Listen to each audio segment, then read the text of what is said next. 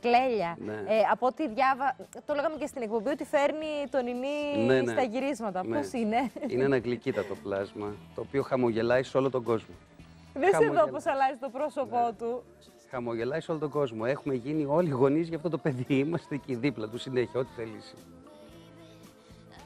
Συγκινείσαι, ε; Ε, το λατρεύω. το λατρεύεις; Ναι, το λατρεύω. Όπως και Αισθάνεσαι όλοι σαν μας. συγγενής του; Ε, κοίταξε, επειδή το έχω ζήσει αυτό από την αρχή μέχρι την ώρα που γέννησε Ενώ η Κλέλια, πολύ, πολύ κοντά σου Ναι, αυτό το εννοώ, έζησα, συγγενής. έζησα όλη την εγκυμοσύνη από δίπλα της. Και πάντα όλη η παραγωγή και όλοι, ακόμα και οι κάμερες, όλοι μας ήμασταν δίπλα της μονίμως στο τι θα χρειαστεί. Και τώρα κάνουμε το αντίστοιχο για το παιδί.